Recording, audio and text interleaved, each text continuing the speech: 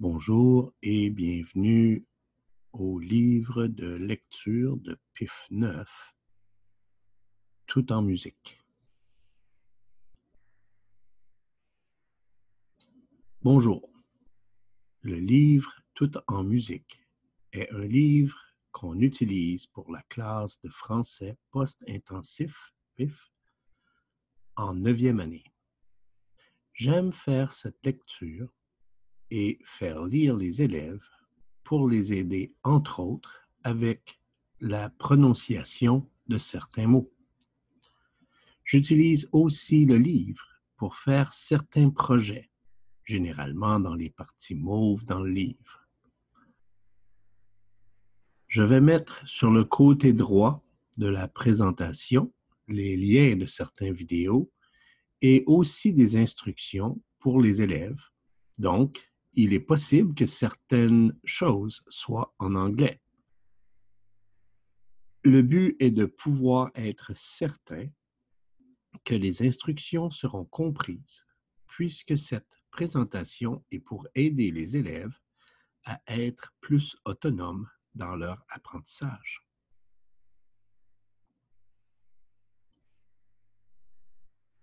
Tricks and tips and tricks. When reading, if you have a hard time to pronounce certain words in French, try writing down um, how it sounds for you. For example, matière may look like ma, ti, air, right? So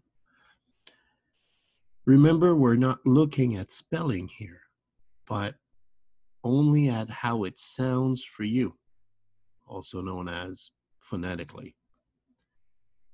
Most of the book uses words in French that are very close from English words. So give it a shot. You will most likely be right or close enough. And most of the time, what I will be doing, I'll be reading here to help you with the reading, but not here because I may or may not use that in class. So at the point of uh, doing this, uh, when I first recorded this, um, we did not even know if uh, we would have class. So it's kind of designed to be online and um, kind of on its own, but it might change. So I I will not read this all the time because it will be done in class or whatever home whatever we'll we'll see how it goes. So it's mainly only to read whatever will be on this side. So i'm just going to be reading that.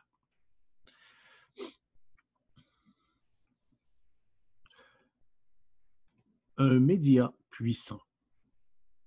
Tu utilises les médias tous les jours me crois-tu? Tu penses que c'est de la folie Regarde autour de toi. La télévision, les livres et les disques compacts sont tous des médias. Les médias sont partout. la taille et la forme de certains médias varient, mais tous, tous les médias ont une chose en commun ils transmettent des messages qui peuvent nous influencer.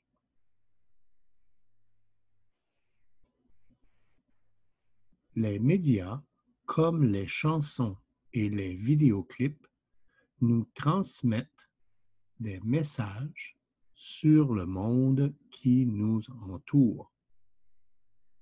Toutefois, ces messages sont parfois incomplet. C'est pourquoi il est important de se questionner. Utilise les questions suivantes pour voir comment les chansons et les vidéoclips peuvent t'influencer. Questionne-toi. Qui transmet le message et pourquoi? À qui s'adresse le message?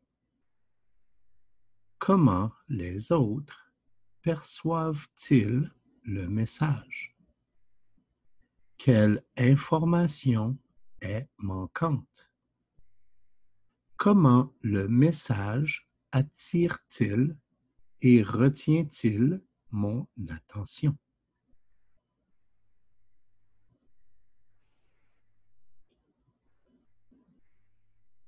Page 6. Paroles et musique par. Qui transmet le message et pourquoi? Tu crois qu'il est facile de connaître l'auteur d'une chanson ou d'un vidéoclip? C'est l'artiste, pas vrai? Les choses ne sont pas aussi simples. La plupart de tes disques compacts sont produits par une maison de disques. Nelly Furtado a signé un contrat avec Geffen Records. Eva Avila travaille avec Sony BMG Music Canada. Ces entreprises gèrent la production, la mise en marché et la vente de disques compacts. Elles amassent aussi une grande part des profits.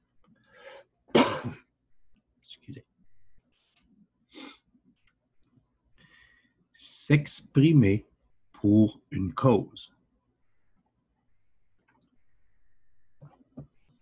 Pourquoi faire de la musique? Certains musiciens et musiciennes décident d'interpréter des chansons dont le sujet leur tient à cœur. Par exemple, l'Acadienne Marie-Jo Thériault a choisi de chanter le poème Évangéline de l'Américain Henry Wadsworth Longfellow.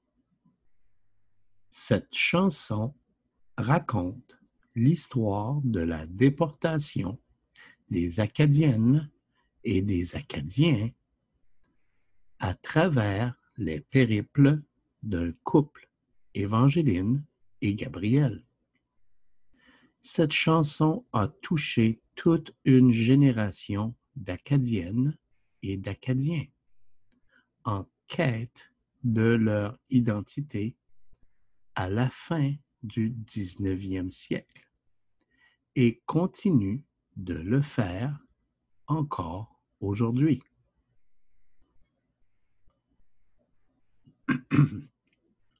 page 9, 8. Sorry, page 8. And in some, I will read, I will read this and this, right? So, but this is, um, I usually will start with this first, just because it's the vocabulary and it will help you understanding what's going on here. Okay. Vocabulaire. Placement de produits.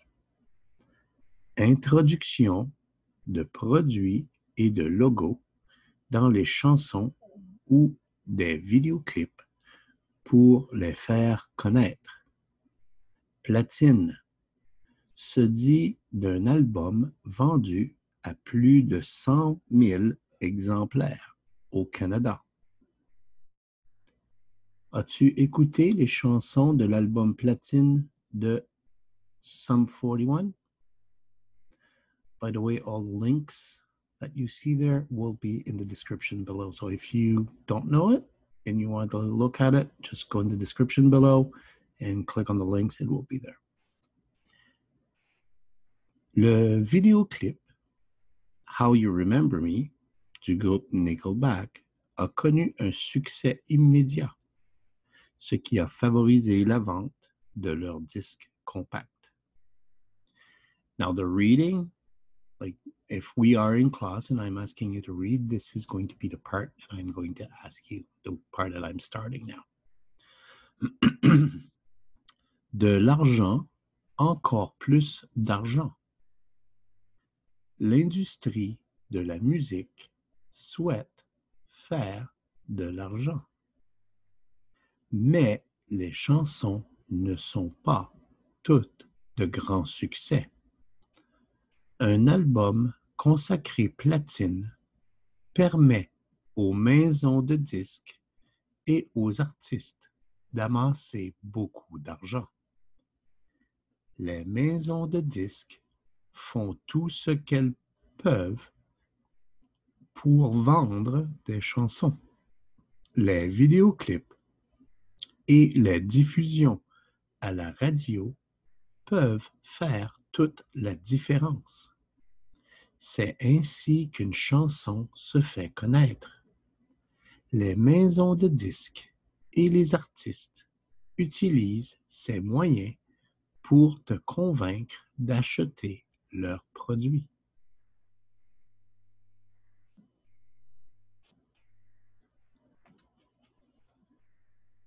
Page 9. Des publicités musicales.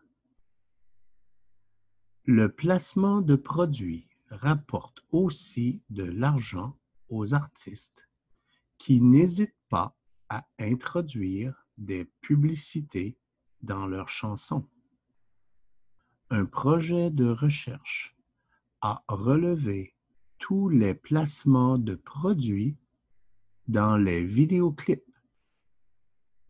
En 2004, Kanye West a introduit 19 produits dans quatre de ses vidéoclips. Crois-tu que les publicités dans les vidéoclips peuvent t'influencer? Les placements de produits sont tellement communs que tu ne les vois probablement pas. Le vidéoclip Un deux step de Ciara montre le vaporisateur pour le corps Axe. Les placements de produits comme celui-ci peuvent facilement passer inaperçus. Regarde bien les vidéoclips. Tu verras tout ce qu'ils tentent de te vendre.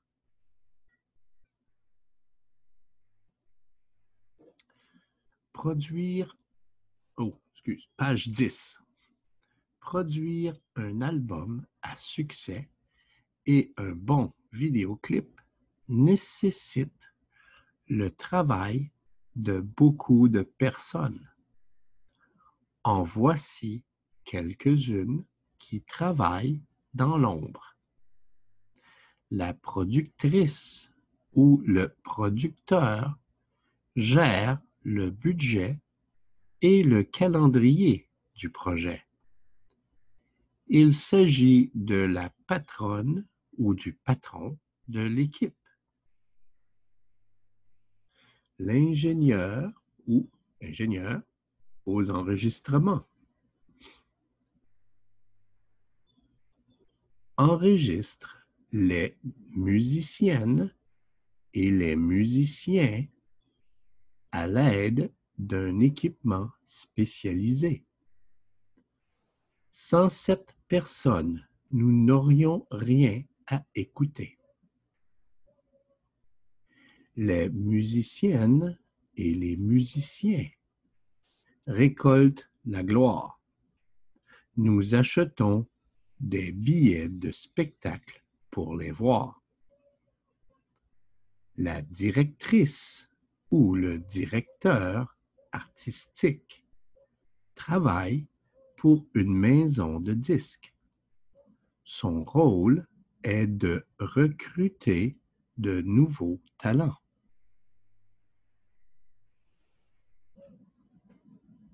Page 11. La réalisatrice ou le réalisateur élabore le plan du vidéoclip. Cette personne dirige aussi le tournage.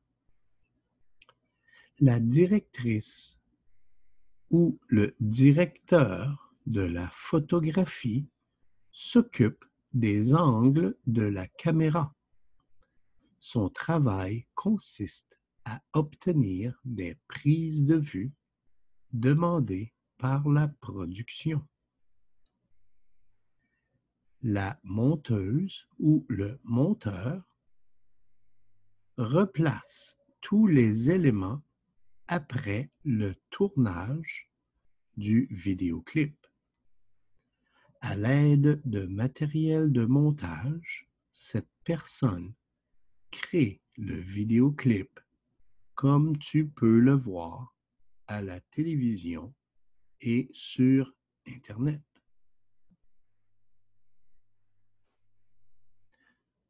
Page 12. Des vidéoclips pour tous les goûts.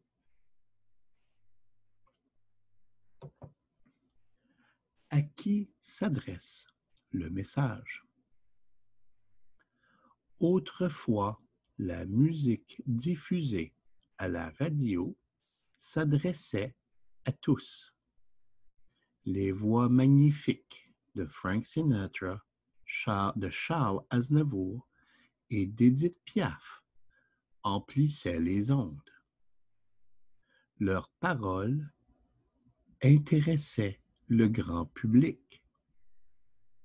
De nos jours, différents styles de musique retentissent dans nos haut-parleurs.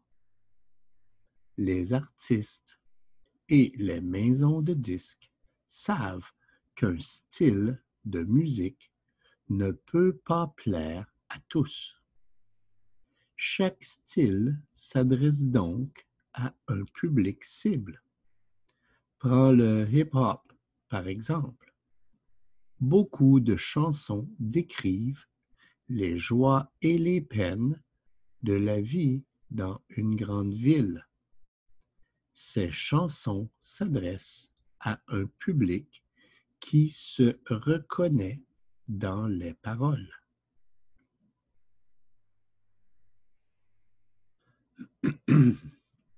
Page 13. I'm going to read both here. As usual, vocabulary first. Then I'll read this because it is related to the project that, like I said before, may or may not be used in class, depending if we have class. But the actual reading bit will be here. So I'm going to start here first so that you know what it is, and then here for vocabulary, and then I'll finish with the reading of the actual text to read. Vas-y. Pour faire encore plus d'argent, certaines entreprises lancent des compilations qui s'adressent à un public cible. Tu peux créer ta propre compilation. Prends tes disques compacts et mets-toi au travail. Choisis d'abord ton public cible. Pense aux goûts musicaux de ce public. Choisis ensuite 10 chansons qui plairont à ton public. Fais une liste des chansons que tu as choisies. Demande ensuite à une personne de ton public cible d'écouter les chansons de ta liste.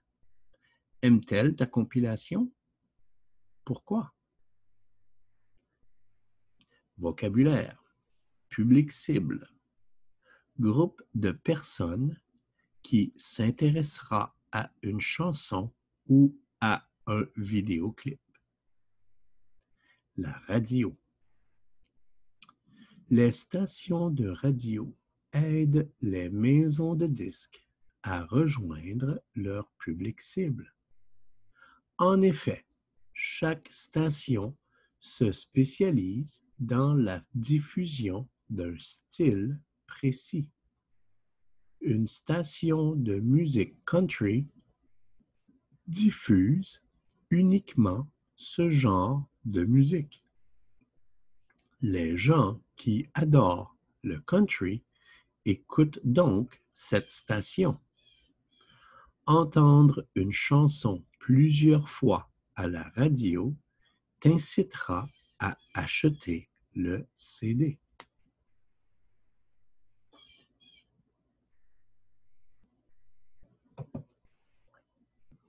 Page, page 14. De la musique à la télévision. Les artistes et les maisons de disques diffusent leurs chansons et leurs vidéoclips là où ils peuvent rejoindre leur public cible. Ils savent que diffuser une chanson country une station rap est une perte de temps et d'argent. C'est pourquoi les chaînes spécialisées qui diffusent des vidéoclips ont un style précis. Les vidéoclips diffusés sur la chaîne BET s'adressent à un public afro-américain.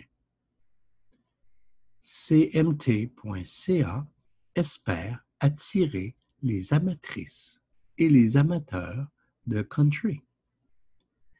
Les maisons de disques espèrent que tu aimeras tellement ce que tu vois et entends que tu seras prête ou prêt à acheter le disque sur lequel est enregistrée la chanson. Peux-tu déterminer le public cible uniquement en écoutant les chansons de Beyoncé ou de Carrie Underwood?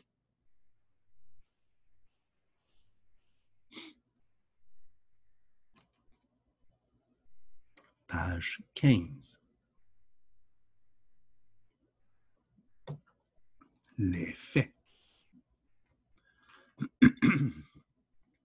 MySpace est un site populaire qui permet au groupe de rejoindre un public précis. La plupart des gens qui utilisent MySpace ont entre 18 et 34 ans. Ils sont à la recherche de nouveautés et d'originalité. En 2006, le groupe Malajube a d'une occasion. Les membres ont créé un site sur MySpace. Ils y ont placé leurs chansons que les gens pouvaient écouter gratuitement. Le groupe Malajube est devenu célèbre grâce à un public toujours grandissant. Une importante maison de disques a signé un contrat avec le groupe en raison de son succès en ligne. Beaucoup de gens croyaient que le disque compact ne se vendrait pas car les chansons étaient gratuites sur Internet mais ils avaient tort. Selon toi, pourquoi les gens ont-ils acheté le disque compact, même si les chansons étaient gratuites sur MySpace?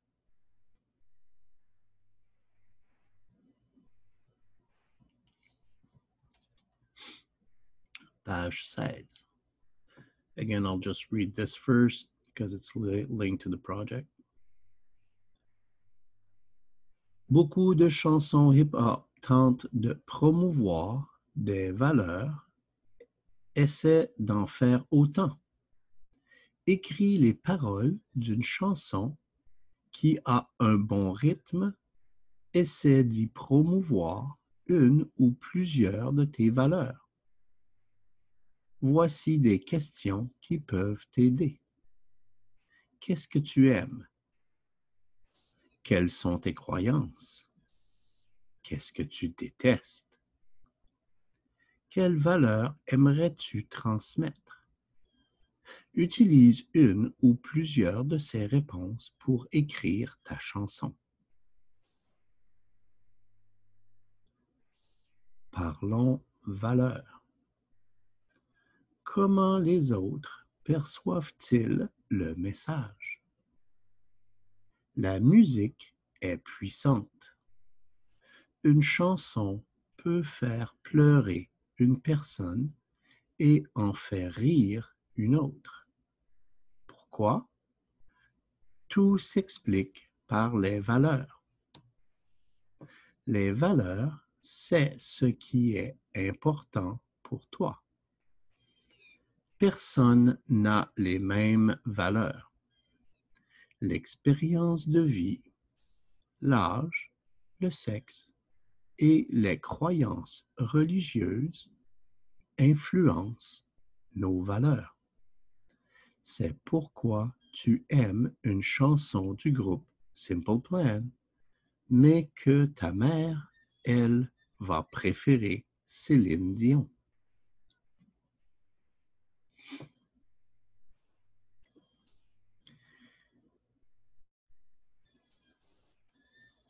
Des valeurs musicales.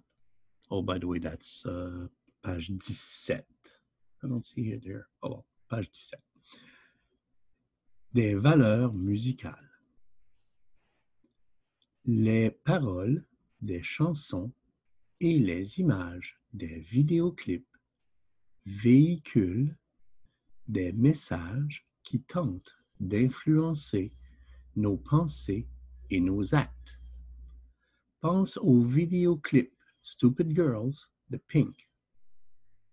Dans la chanson, Pink dit Qu'est-il arrivé à la fille qui rêvait de devenir présidente?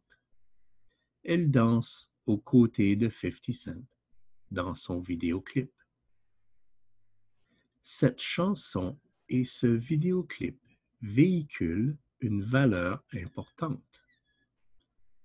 Pink se moque des filles qui agissent de manière idiote pour impressionner un garçon.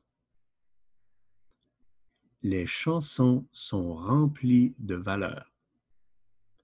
Écoute la chanson La beauté des petites choses et autres gestes anodins de Nicolas connais. Peux-tu trouver les valeurs qu'elle véhicule? Voici quelques paroles. C'est l'appel d'un ami lorsqu'on a du chagrin. C'est d'avoir le fou rire sans en savoir la cause. Ce qui est bien avec la musique, c'est que tu peux choisir de te faire influencer ou non. Voilà pourquoi il est si important de te questionner sur ce que tu entends.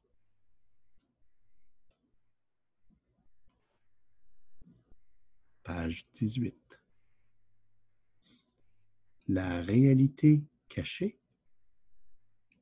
Quelle information est manquante? La musique est partout. Nous entendons sans cesse parler d'histoires d'amour, de rupture, de la vie dans la rue et de la façon de mener sa vie.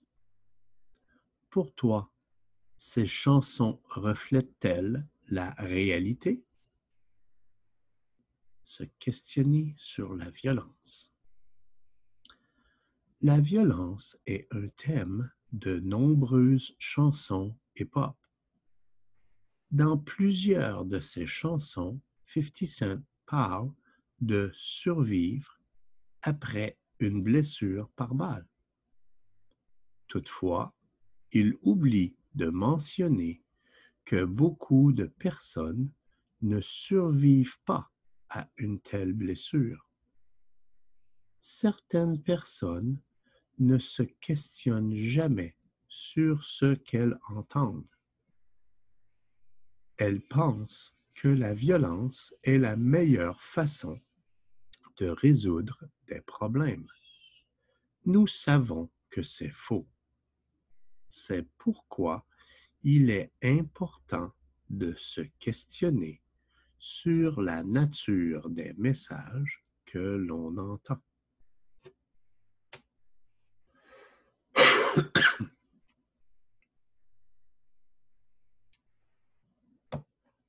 Page 19. Le vidéoclip We In Here de DMX montre le stéréotype de dur à cuire. Crois-tu que ce genre de vidéoclip peut influencer l'opinion que tu as des Afro-Américains? Les stéréotypes. Certains vidéoclips et certaines chansons véhiculent aussi des stéréotypes. La plupart du temps, les hommes noirs jouent le rôle de membres d'un gang. Cela signifie-t-il que tous les Afro-Américains sont méchants et violents? Pas du tout. La musique nous donne peu d'informations. Elle laisse de côté beaucoup de renseignements importants. Il faut donc te questionner sur ce que tu vois et ce que tu entends. La musique ne reflète pas toujours la réalité. Il est nécessaire que tu t'en aperçoives pour être en mesure de faire la part des choses et évaluer le contenu des chansons que tu aimes.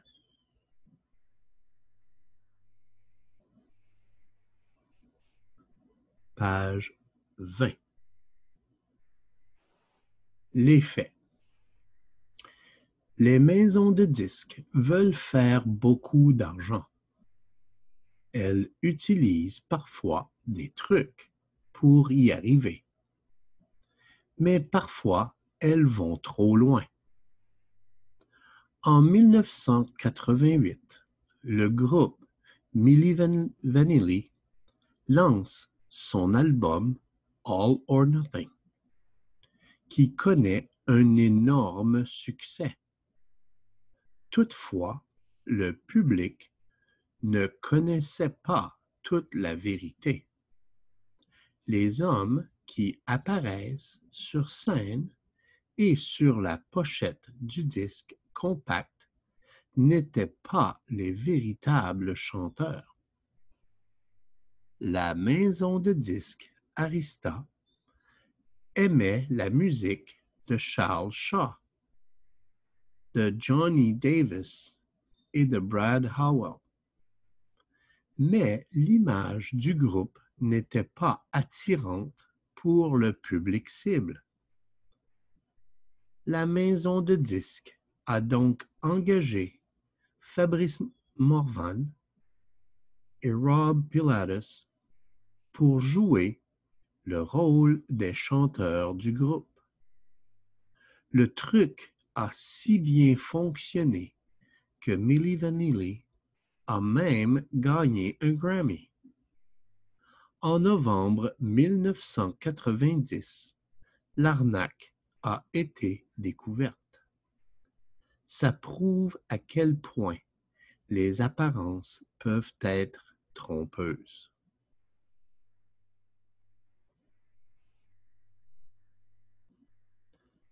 Pense à Shakira qui chante Hips Don't Lie ou au vidéoclip Do It de Nelly Furtado. Regarde comment les femmes sont habillées et comment elles bougent ressemble-t-elle aux femmes que tu vois tous les jours?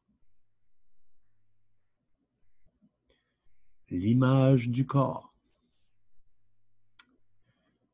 Beaucoup de vidéoclips montrent des hommes en train de regarder des femmes légèrement vêtues. Les paroles de plusieurs chansons laissent entendre comment un corps parfait attire l'attention des hommes. Toutefois, on oublie le plus souvent de mentionner que la plupart des femmes ne ressemblent pas à celles des vidéoclips. Si tu te laisses influencer par les vidéoclips et les paroles des chansons, ta vision de la réalité ne sera pas exacte, loin de là.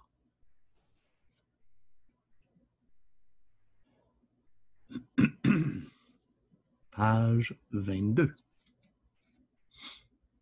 Les médias au service des artistes. Comment le message attire-t-il et retient-il mon attention? Des tonnes d'artistes veulent être célèbres. Toutefois, ils doivent d'abord attirer notre attention pour faire de l'argent et atteindre la célébrité. Les pochettes de disques compacts.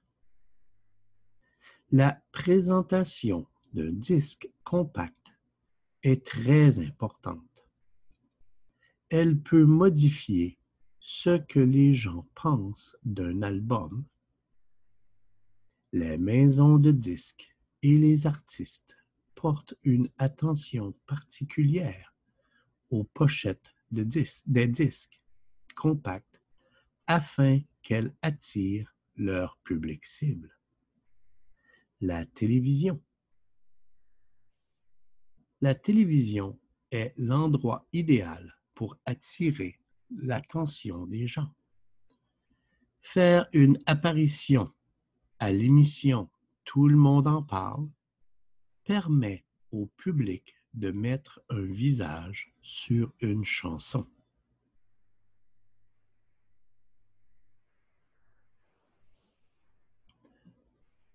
Page 23. La diffusion à la radio. Diffuser sa chanson à la radio est une bonne façon d'attirer l'attention. Si les stations diffusent souvent une chanson, plus de gens l'entendront et voudront acheter le disque. Les vidéoclips. As-tu déjà remarqué que les vidéoclips passent d'une scène à l'autre, puis reviennent en arrière? Il s'agit d'un montage dynamique. Cette technique sert à soutenir ton attention. Des vêtements à la mode et de belles personnes servent aussi à retenir ton attention.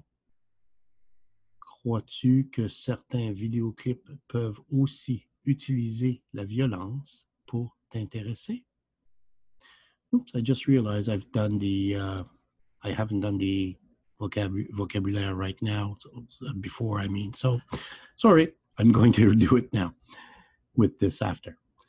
Vocabulaire. Montage dynamique. Changement de scène rapide qui augmente le niveau d'excitation.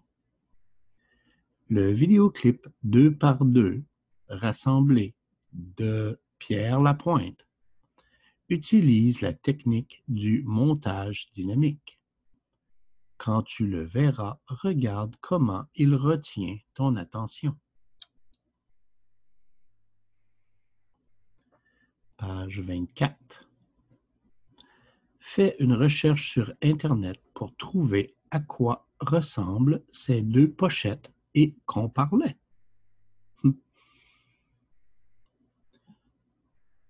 Les faits.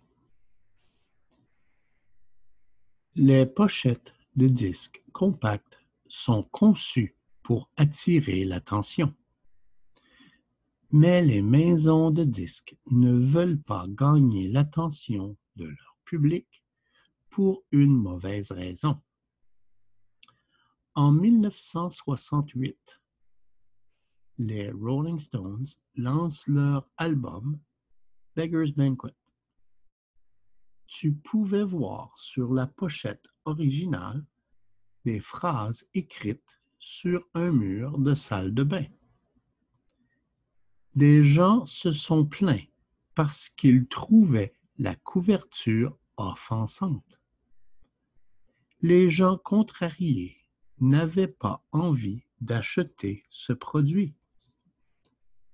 La maison de disques a donc changé la pochette de manière à refléter les valeurs de l'époque. Aujourd'hui, les pochettes sont vues par beaucoup de gens comme une forme d'art. Modifier une pochette pourrait être considéré comme une sorte de censure à la liberté d'expression. Qu'en penses-tu?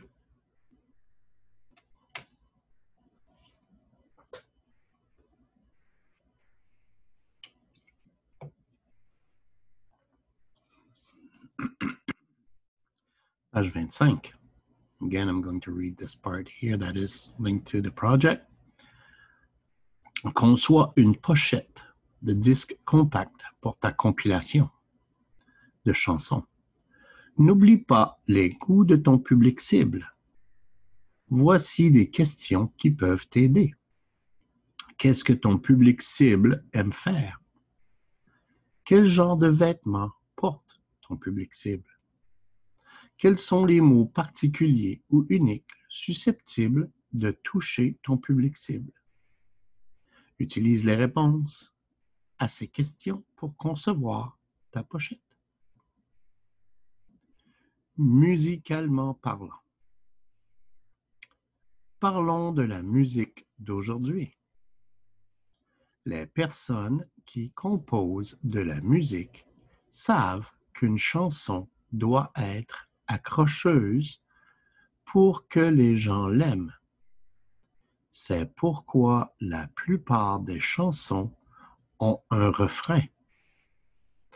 Un refrain est composé de phrases faciles à retenir qui se répètent tout au long de la chanson. C'est la partie que tu chantes sous la douche. Écoute le succès Girlfriend d'Avril Lavigne. Quel est le refrain selon toi? Indice. Il commence par Hey Hey You You.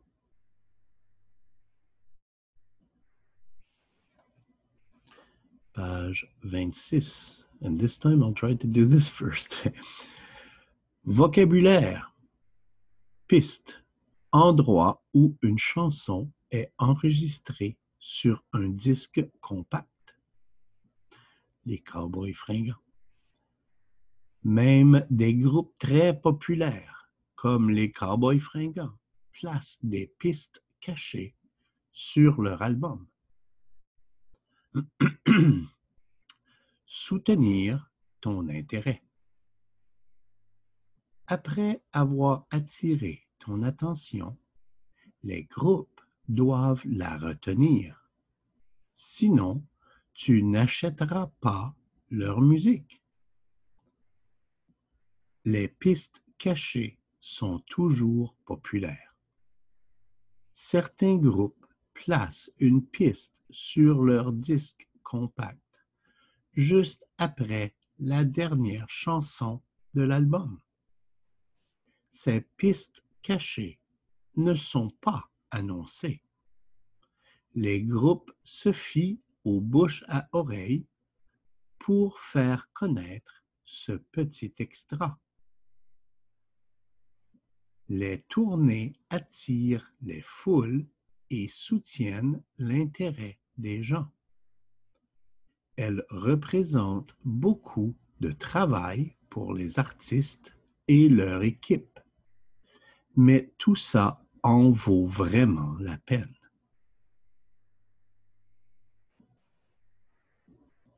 Page 27. Se questionner sur les paroles. La musique occupe une place importante dans notre vie. Elle peut être entraînante ou relaxante. Elle peut aussi influencer tes pensées et tes actes, mais seulement si tu le lui permets. Prends un disque compact, place-le dans ton lecteur et amuse-toi à te questionner sur les différents aspects qui entourent la musique.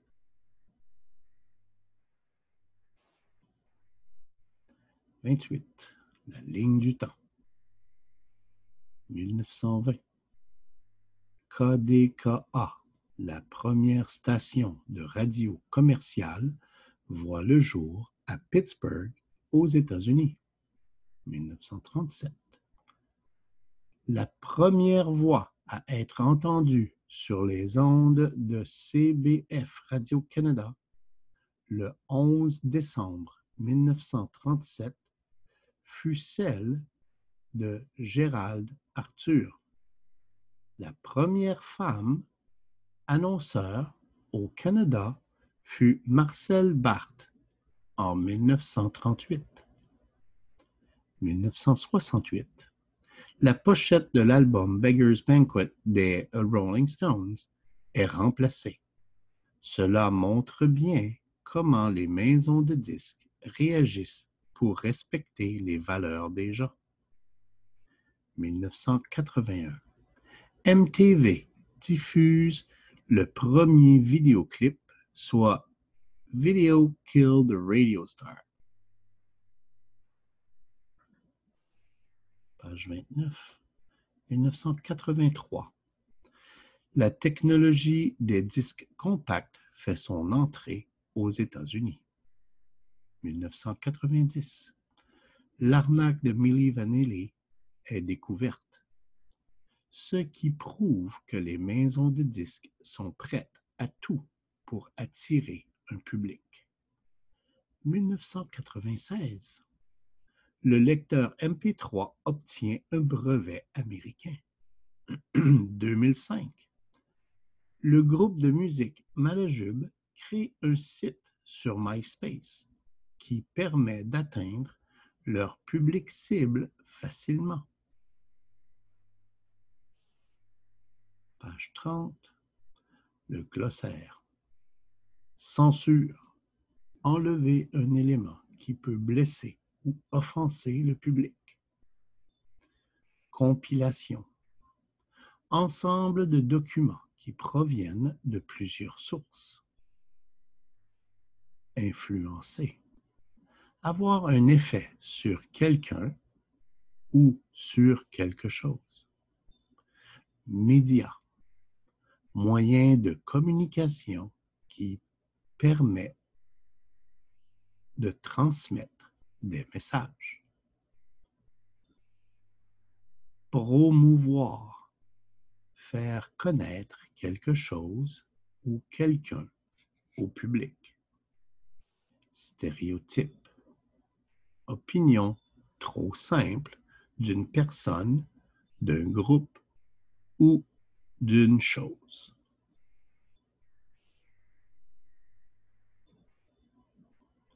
And this is the end. C'est la fin. J'espère que tu as aimé le thème de la musique. Au revoir et à la prochaine.